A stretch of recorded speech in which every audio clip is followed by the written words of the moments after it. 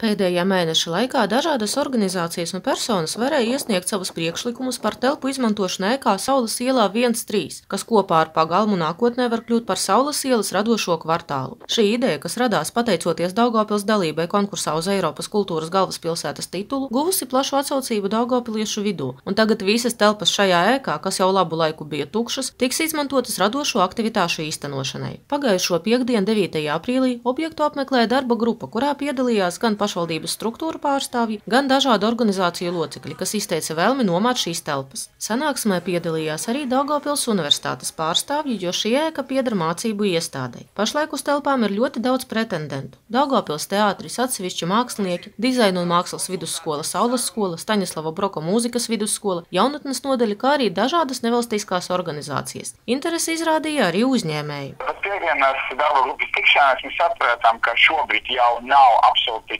tukšo brīvo telpu, uh, lai iesaistītos tā stacionāra veida, bet jebkura gadījumā mēs uh, no šīs nedēļas sākām uh, kultūras programmas plānošanu vasaras sezonām, tātad uh, ik, viens, ik viena biedrība, organizācija, aktīva grupa var piedāvāt savu kultūras programmu, iesaistīties ar saviem semināriem, konferencēm, koncertiem un pasākumiem uh, un strādāt tieši šajās telpas kopēdas formātā vai, vai izmantot pagalmu vai rīkot tieši tādas vienreizējas kultūras aktivitātes un kaut kādus pasākumus. Saslimstības ar covid-19 mazināšanās dod cerību, ka pirmie pasākumi Saules radošajā kvartālā varētu notikt jau šovasar, kaut gan to formāts būs atkarīgs no epidemioloģiskās situācijas. Tāpēc kvartāla iniciatīvā grupa mudina radošus cilvēkus iesūtīt savus priekšlikumus konkrētu pasākumu rīkošanai. Tas viss kļūs par pirmo soli, lai izveidotu Daugavpilī jaunu kopradas un interesantas laika pavadīšanas vietu. Idejas var iesniegt rakstot uz e-pastu vai uz radošā kvartāla oficiālo Facebook lapu. Sidžetu sagatavoja Daugavpils pilsētas domas, sabiedrisko attiecību un mārketinga nodaļa.